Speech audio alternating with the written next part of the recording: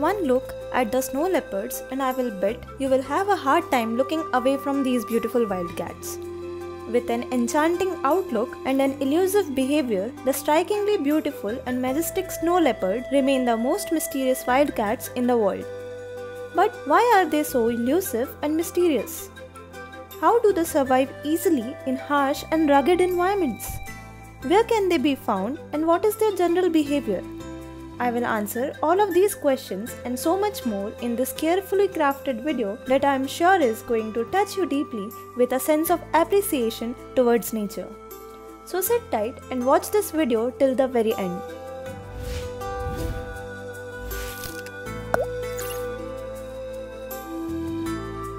Let's start with a little bit of history behind the snow leopards. The stone leopards or Panthera uncia were given this scientific name after having gone through the names like Felis uncia, Uncia uncia, Felis irbis, and finally settling on Panthera uncia arrived at on the basis of phylogenetic studies. The phylogenetic analysis also suggests that the snow leopards derive similarities from a sister tiger group. The snow leopards, as per research, are supposed to have diverged from tigers somewhere 3.7 to 2.7 million years ago. In 2016, an interesting study popped up that showed that the ancestors of snow leopards hybridized with lions and leopards in their journey of evolution.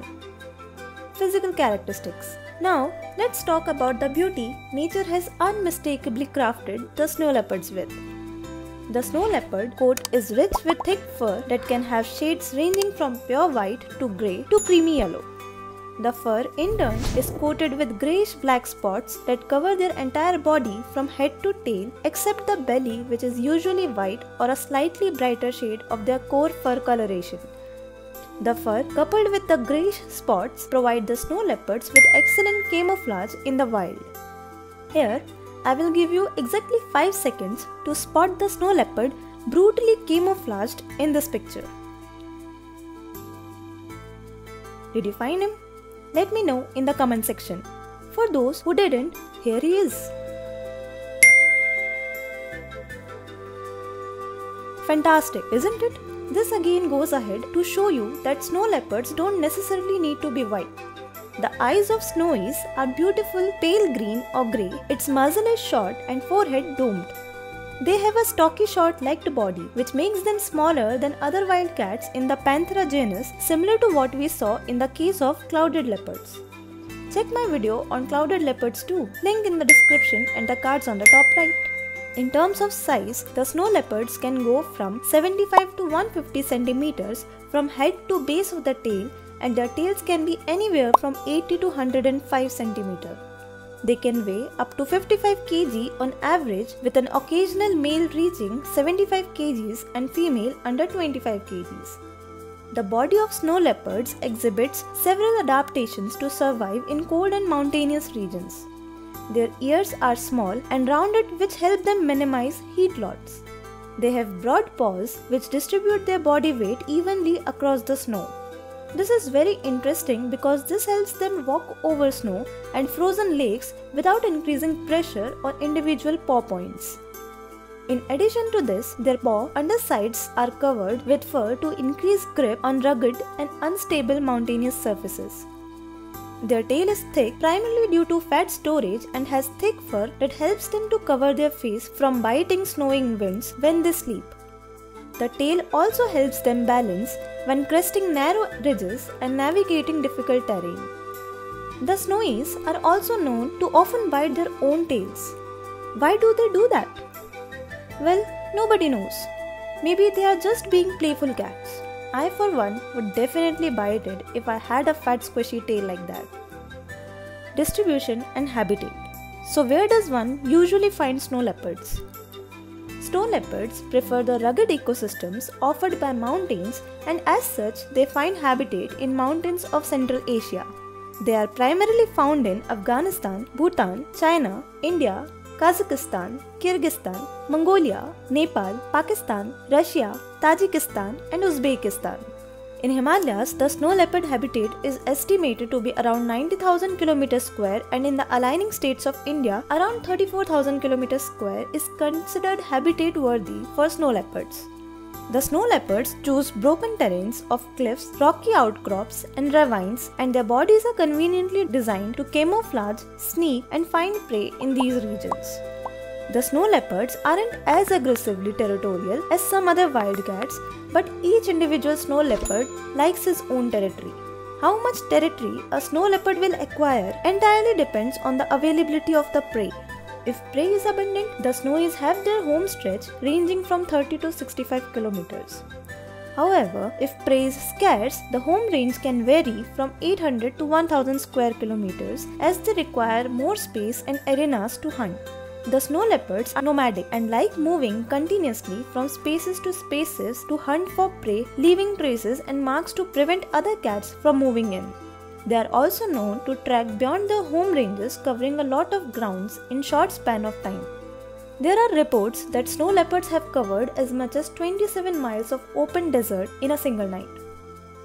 Behavior and diet. Alright, on the fun part, so how are snow leopards really like? Well, with what is observed in captivity, they are really just cats at heart. Playful, mysterious, naughty, sneaky, and cute, of course. Just the only difference that lies is that you can't keep them at your home. The snow leopards are known to be solitary and elusive wildcats. Because of their elusive nature, the wildlife researchers studying them often refer to them as the ghosts of mountains. They are mostly active in early mornings and again in afternoons and early evenings. Now, this is very interesting. The snow leopards, because of their underdeveloped vocal cords, cannot roar. Having said that, their vocalization is sufficiently equipped to carry out all possible communication they need to interact and survive. They can meow, grunt, chuff, moan, and even purr when exhaling. The snowies are essentially carnivores and opportunistic hunters. They feed primarily on Himalayan blue sheep, Himalayan tahr, argali, markhor, and wild goat. In addition, they are also known to prey upon domestic livestock and small mammals like marmot, pika, and vole. They use broken terrain and uneven grounds to conceal themselves and sneak up on their prey and ambush them from above. They are capable of actively pursuing their prey down steep mountain sides using the initial momentum from their scare jump. Their short, stalked, and well muscled build allows them to drag heavy prey to a safe location before feeding procreation and development. The snow leopards are recorded to reach a lifespan of 25 years in captivity and 15 to 18 years in the wilderness.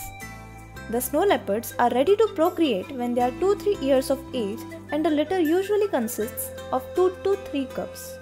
The cubs are completely blind at the time of birth although they are born with a thick coat of fur and weigh anywhere around 300 to 500 grams.